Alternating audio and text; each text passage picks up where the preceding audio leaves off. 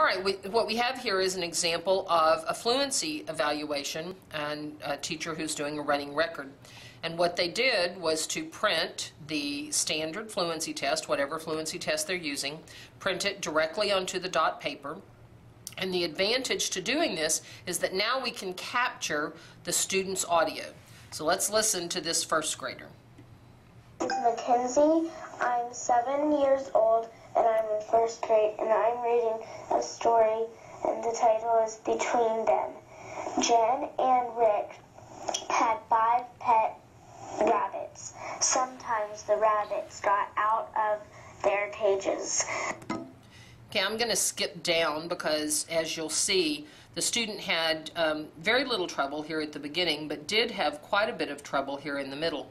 So I'm going to take it off of pause and skip it forward because sometimes, even as a professional, I want to go back and listen to what the child said, really to check my own hearing. Did she really say that or did she say something else?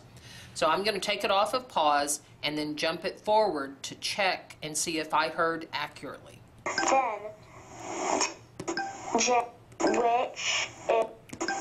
Rick made two lines about 10 feet uh, apart. On the on the sidewalk, Okay, so what you observe the child doing is that there are certain words that she's miscalling. She called pointed, painted. She called hopped, hoped. And she had long pauses before some of the words.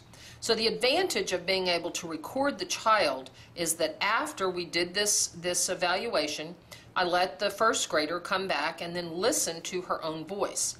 And what you see happening is that as they hear their own voice and see the words written on the page, they start self-correcting. For an example, when she got to this word to hopped, she had called it hoped, and yet when she heard her own voice, she said, well, of course, it's got two P's in it. It's hopped, it's not hoped.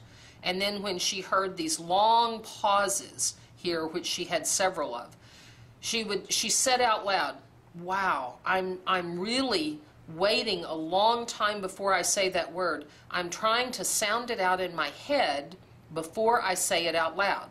And interestingly, that was a strategy that they were using in class right then. And so she was actually able to articulate that strategy and knew what she was doing. The other wonderful part about having the child recorded is that now not only do I have a score, but now I have the child's uh, reading archived. So I might want to uh, look at what did the child sound like at the beginning of the year, the middle of the year, the end of the year.